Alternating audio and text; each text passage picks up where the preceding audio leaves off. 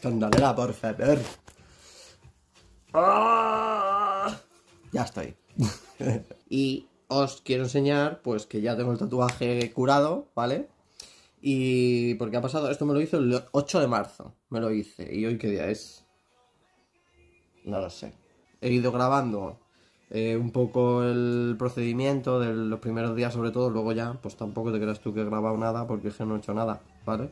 Total, que ya tengo prácticamente el tatuaje curado y os quiero contar un poco, pues, cómo lo curo yo, porque básicamente no me complico, eh, no me complico absolutamente nada, ¿vale? Ni al principio, ni luego, ni nada. Diabetes, mm, sí. ¿Y? ¿Qué pasa? Pues nada, tengo un vídeo por ahí de hace ya unos años en el que os contaba un poco por pues, mi experiencia con los tatuajes y tal, y ya os enseñé los tatuajes y que si tienes la diabetes más o menos controlada y bueno, no deberías tener ningún tipo de problema con los tatuajes, ¿sabes?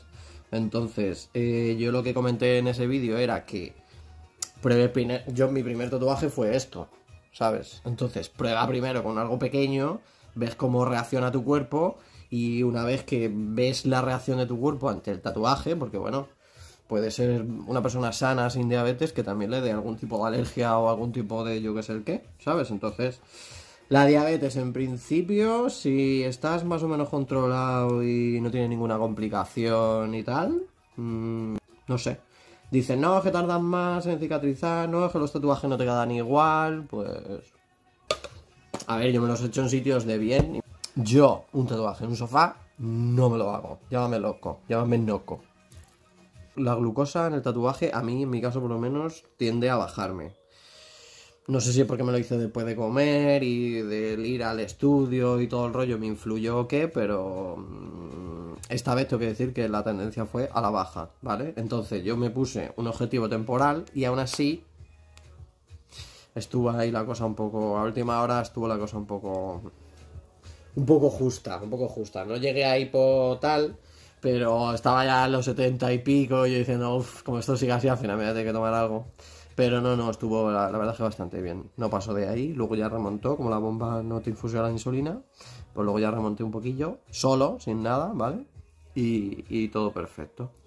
Vale, pues eso, eso va a empezar. Eh, el proceso del tatuaje, tú vas, te haces el tatuaje, lo primero que te pone el tatuador, eh, normalmente, normalmente, dependiendo del tatuador que sea, pero de toda la vida se ha puesto el plástico este film. Eh, pues ponte que yo terminara de hacerme el tatuaje, bueno, que el chico que me tatuó terminara sobre las 7 y media por ahí, ¿vale? Y yo llegué a mi casa, me dejé el plástico,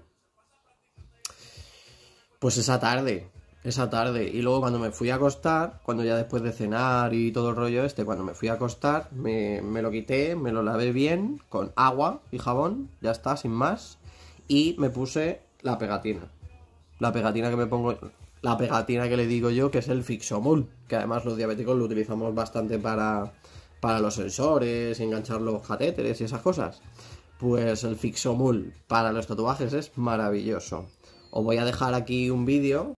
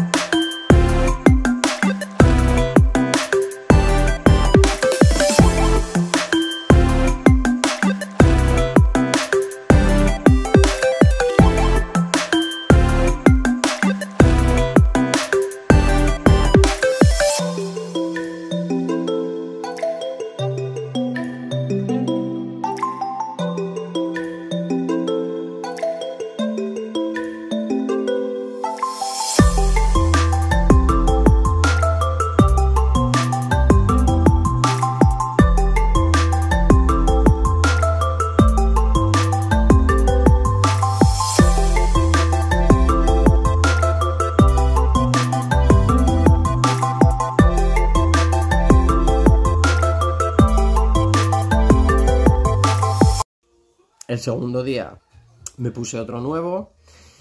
No me lo puse bien, me molestaba, tal y cual. Aguanté ese día, pero es que me, me pasé. Me pasé, me molestaba por aquí, me había cogido muchos pelos, me estaban tirando los pelos. Y al, al final, Fixomul eso engancha como si no hubiera un mañana. Yo recomiendo que os depiléis la zona si os vais a poner el Fixomul, porque es que se agarra, por lo menos en mi piel se agarra, que, que, que es increíble.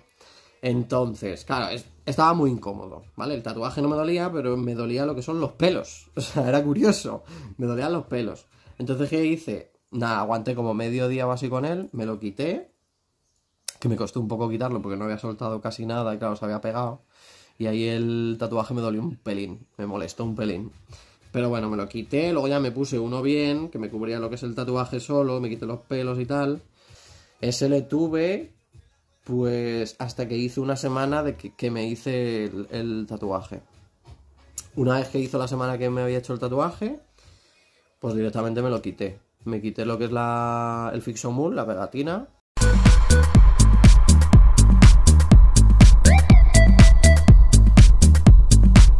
Y eso, y una vez que me lo quité, sí que es verdad que se me quedaron pega se me quedó pegado parte, que al llevar tanto tiempo el Fixomul se quedaba un poco integrado. Lo único que no hay que hacer, que no hay que hacer, es quitarte las pegatinas, ¿vale?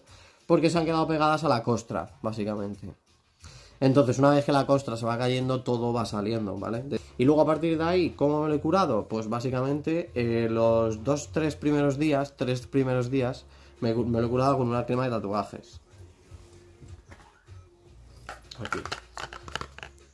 Con esta, ¿vale? Esta o cualquier otra que tengáis, el Bepantol o cualquier de, este rollo, ¿vale? Eh, a mí esto me va bastante guay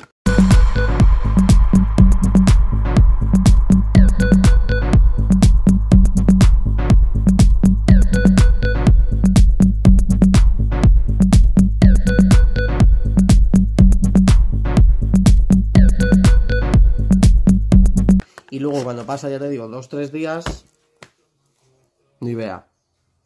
O sea, es que al final es la mejor. Mira, de hecho tenemos el bote tocho porque la solemos utilizar bastante. Para el tema de tatuajes y tal, dicen, eh, que te salen granos, eh, que no sé qué. A ver, no te vas a echar ni vea la cara, obvio. Pero en los tatuajes te lo das y es que se te quedan maravillosamente bien. Nosotros te lo, das te lo das en tatuajes viejos y es que cogen una consistencia bastante curiosa. Entonces nosotros la, la, utilizamos, la verdad es que la utilizamos en los tatuajes. Y luego ya nada, luego sí que es verdad que vas perdiendo la costumbre de echarte crema.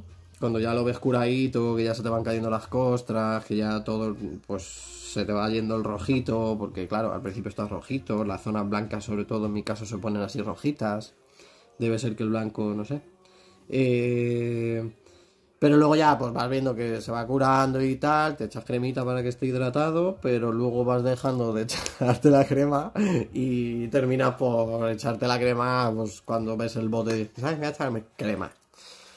Pero ya está. Por aquí va a ir otra cosa que ya os enseñaré. A ver qué tal. Bueno, pues eso. Gracias. Chao.